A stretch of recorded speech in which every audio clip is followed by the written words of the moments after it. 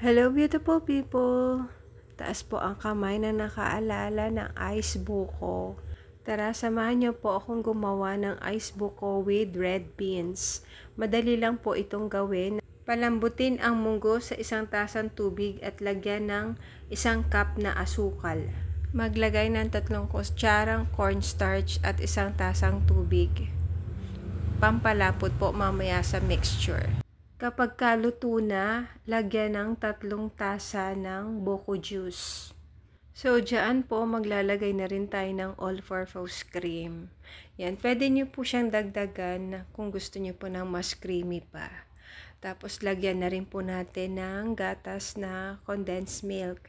Kung gusto nyo rin po i-adjust ang tamis, kayo na po ang bahala. Haluin pong mabuti at iset aside muna. Gagamit po tayo dyan ng 8 ounce na cup. Pero kayo po depende sa gusto nyong laki ng inyong ice buko. Kami po kasi pambahay lang, kaya gusto namin ng medyo malaki-laki. Para kahit isa ay busog na. Diyan po, maglalagay na po tayo ng red beans.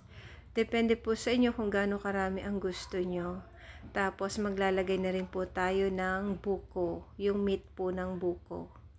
Kayo na rin po ang mag-decide kung kano karami ang ilalagay nyo na buko. Kami po, tatlong buko ang binili po namin dyan. Pagkatapos po, ilalagay na natin yung mixture na gatas kanina.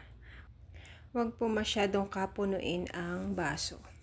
Gumamit po kami dyan ng foil para matakpan po yung ating ice buko.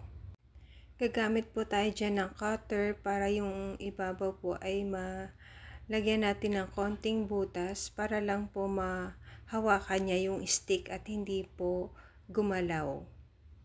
Ayan. Okay na po ang ating ice buko at pwede na po nating ilagay sa rep ng overnight. Yan po yung ating finished product. Ano pang iniintay nyo? Gumawa ka na rin.